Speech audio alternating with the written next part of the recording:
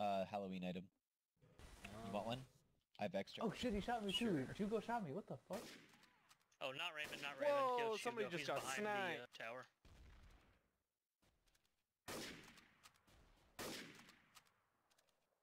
Oh, he's dead.